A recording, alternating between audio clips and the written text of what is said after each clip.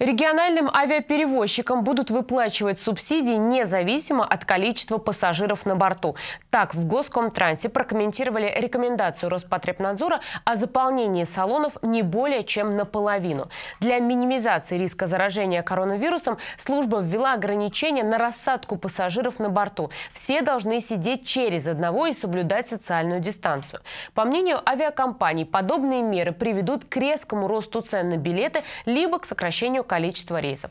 Как прокомментировали в Госкомтрансе Башкортостана, э, субсидии для межрегиональных полетов останутся на прежнем уровне. Поэтому в ведомстве рассчитывают, что расписание и стоимость билетов на такие маршруты не изменятся.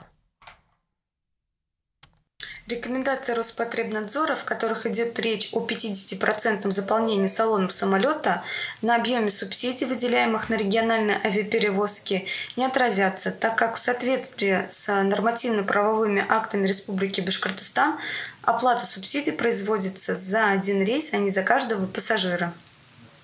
Как сообщили в пресс-службе аэропорта Уфа, сегодня в связи с пандемией коронавируса количество рейсов значительно сократилось, а объем авиаперевозок упал на 90%.